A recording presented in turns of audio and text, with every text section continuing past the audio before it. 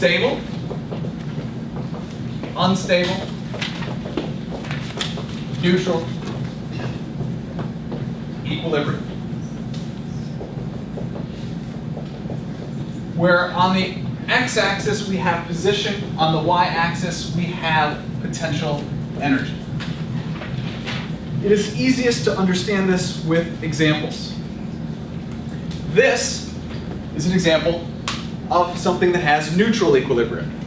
When I take and I displace the object, the center of mass does not go up, therefore it does not gain gravitational potential energy, right? That is neutral equilibrium. This is unstable equilibrium. Right?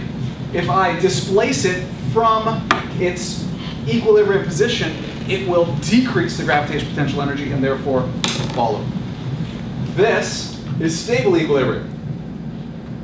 It goes back, right? When I displace it, the center of mass actually goes up and the gravitational potential energy increases.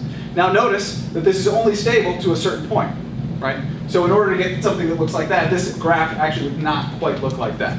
But that is the difference between stable, unstable, and neutral equilibrium. What was neutral again? Neutral is the, the, the ball, the sphere, it's the center mass isn't going to go up or down. So it will just keep at the same amount of gravitational potential energy flat.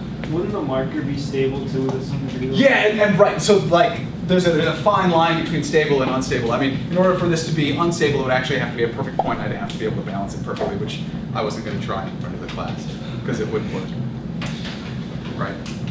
But in theory, it would